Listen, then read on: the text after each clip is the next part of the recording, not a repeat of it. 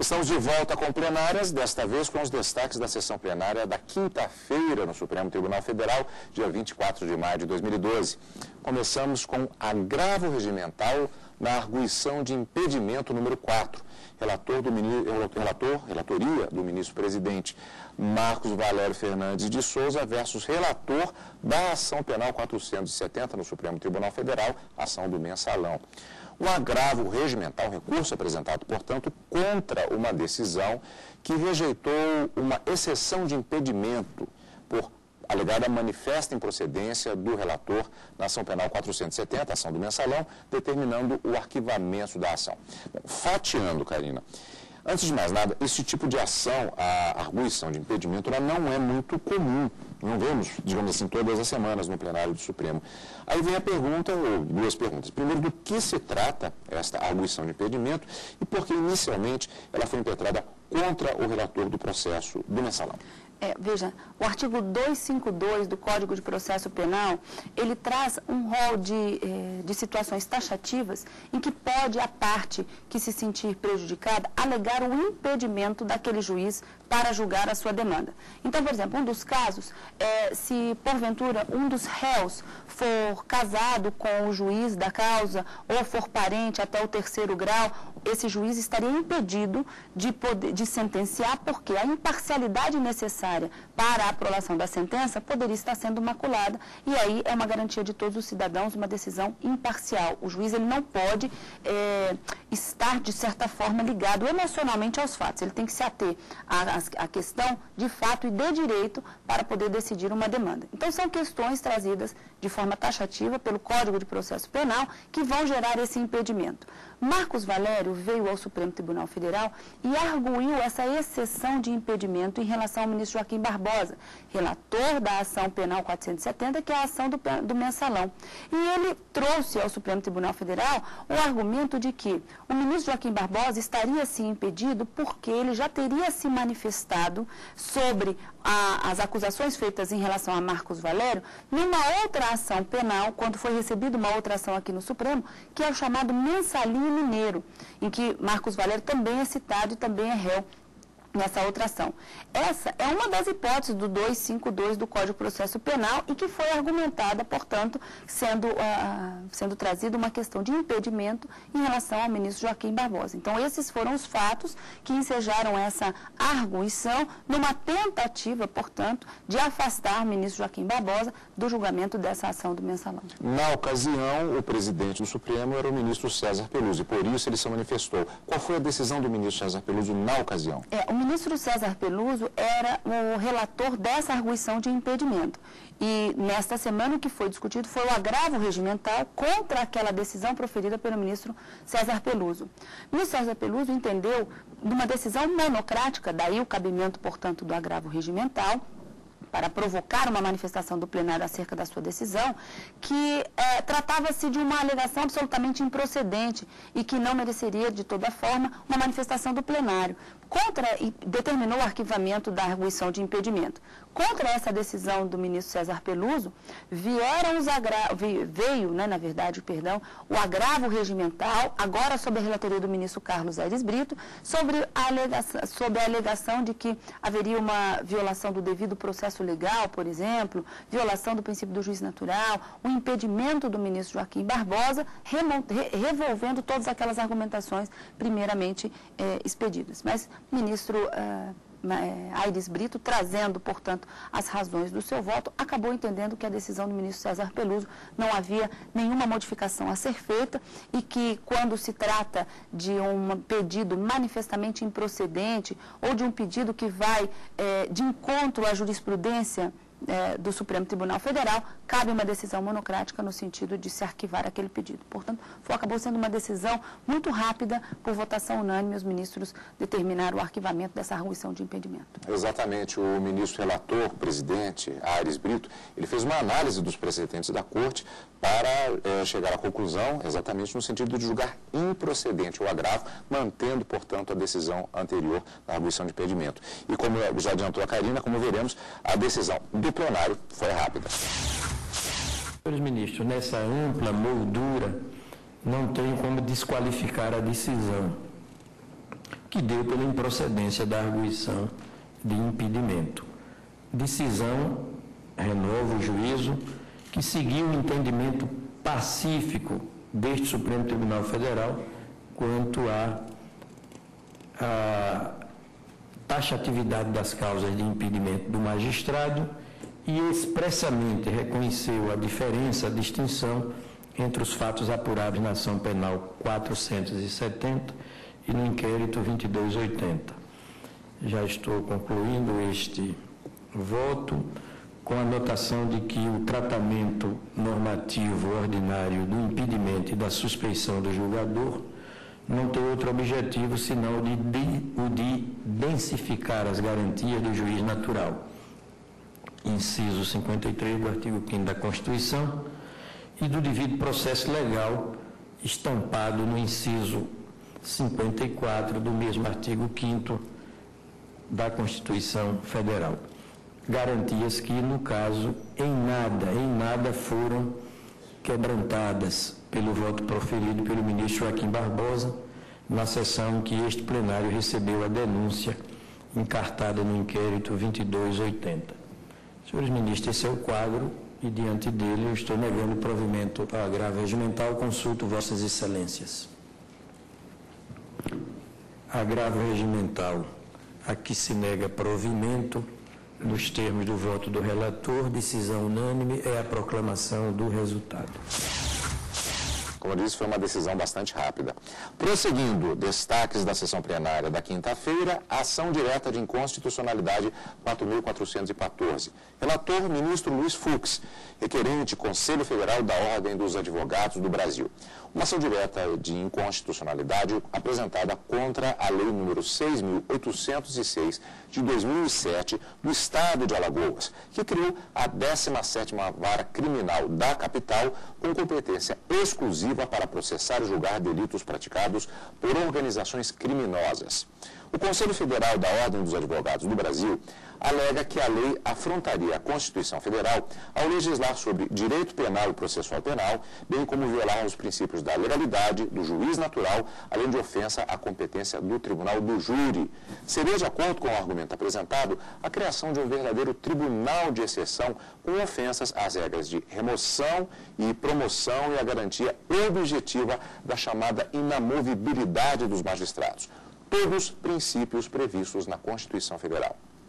Inicialmente, o relator, ministro Luiz Fux, indicou que há diversos dispositivos da lei que têm de ser analisados cuidadosamente. Compulsando-se os autos, verifica-se que as razões invocadas pelo demandante apontam mais de uma dezena de vícios na lei objeto da fiscalização abstradas, todos tecendo e merecendo atenção em separado, pois independentes entre si. Sem prejuízo também de que afirma aqui a jurisprudência da Casa, que prevê no controle concentrado de constitucionalidade a causa de pedir aberta, o que também, em caso, é absolutamente indiferente, porque há uma impugnação de cada dispositivo. Uma premissa deve ser firmada desde logo. Não há qualquer inconstitucionalidade na criação pelos Estados de varas especializadas em razão da matéria, seja no âmbito civil, seja na seara penal. O Código de Processo Penal em vigor reserva um capítulo, o de número 3, da competência da natureza infra, da infração, no título 5 da competência, para deixar extremo de dúvidas que aos Estados é conferida a liberdade de criar e distribuir várias judicionais de forma que melhor atenda aos interesses da comunidade. E aqui eu transcrevo o artigo 74. O dispositivo foi editado sob a égide da Constituição de 37, a chamada polaca, cujo artigo 103 estabelecia compete aos Estados legislar sobre a sua divisão e organização judiciária. Nenhuma alteração se observa no comando do artigo 125 da Carta atual. Os Estados organizarão sua justiça observando os princípios estabelecidos na Constituição, o que atesta a compatibilidade do artigo 74 do Código de Processo Penal com o ordenamento jurídico ela. Em consequência, pode ser afastado qualquer malferimento à competência reservada pelo artigo 22, inciso 1 à União, no sentido de compete ela privativamente legislar sobre direito penal e processual. Ainda durante o voto do relator, o ministro César Peluso pediu a palavra para sugerir que o julgamento da ação direta de inconstitucionalidade fosse feito passo a passo em relação aos diversos artigos. Vamos ver trecho do debate. Eu acho que esse primeiro tema nós podemos, como sugestão, parar aqui e discuti-lo, porque o, o, a parte subsequente do seu voto já diz respeito a um outro aspecto da mesma norma. É, como eu disse são vários dispositivos. Acho que seria o caso, talvez, de nós discutirmos se é ou não constitucional o enunciado da lei estadual que, de algum modo, define que seja organização criminosa. Bom, eu é, me submeto à manifestação do plenário, muito embora entenda que devesse prosseguir no julgamento contínuo de toda a norma, como, porque não é uma preliminar, já é um mérito, não é? E só, senhor presidente, é que, é que antes, ministro, pelo menos na história do tribunal, em Adins, atacando diversos dispositivos de lei, nós sempre procedemos ao desdobramento. Então vamos seguir Até para facilitar, facilitar o convencimento dos pares. Né? Aí o plenário, por unanimidade, optou por seguir a sugestão, passando-se ao debate em relação, eh, inicialmente, a pelo menos três artigos da lei alagoana, particularmente em relação ao artigo 1 da lei. Foi um, um, debate que se estendeu na segunda parte da sessão plenária do Supremo Tribunal Federal, com diversos argumentos sendo colocados. Em relação a este artigo, primeiro especificamente, a maioria do plenário entendeu pelo acolhimento parcial dos argumentos apresentados na ação. De que forma, Karina? É, os ministros, por maioria, acabaram aplicando a esse artigo 1 uma interpretação conforme e excluindo da redação do artigo 1 a expressão organizações criminosas e que, de uma certa forma, ah, poderia ser tida como inconstitucional na medida em que a grande discussão foi em torno dessa lei estadual que teria legislado sobre direito penal ao definir também, lá no artigo 9 e no décimo, o que seria crime organizado ou organização criminosa. Então, como nós não temos uma definição ainda numa lei federal, e isso seria, de uma certa forma, competência da União para legislar, a lei estadual não poderia ter definido.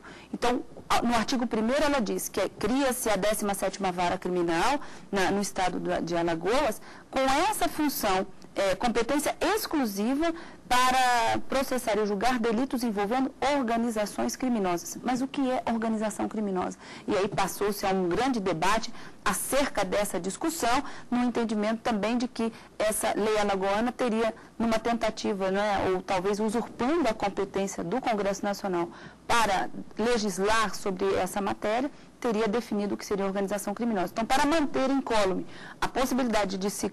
É, deixar criada essa 17ª vara, excluiu essa competência exclusiva para crime organizado, já que nós não teríamos uma definição. E foi apenas essa decisão tomada no plenário na quinta-feira, depois de muitas discussões acerca de vários artigos, já que a lei possui 19 artigos e, segundo a OAB, autora dessa ação de inconstitucionalidade, toda a lei acaba sendo inconstitucional, violando inclusive garantias dos magistrados, de que forma eles seriam é, escolhidos para compor esse colegiado que faz, é, que, que, que, que, compõe essa 17ª vara criminal. Então, não é formada apenas por um juiz, mas por um colegiado. São cinco juízes escolhidos pelo próprio tribunal. Enfim, são várias alegações de inconstitucionalidade, mas na quinta-feira ficou decidido apenas em relação ao, ao artigo 1 e o seu parágrafo ela é, é parcialmente, acolhe-se parcialmente o pedido da OAB para excluir apenas uma expressão do texto e mantendo a possibilidade, portanto, da criação dessa 17ª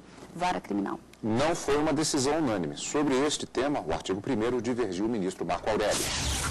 Presidente, não vejo como salvar, a menos que desconheça que não se cria uma vara sem um objetivo próprio, um objetivo harmônico com a ordem jurídica, como salvar o artigo 1 Eu já adianto o meu voto, né?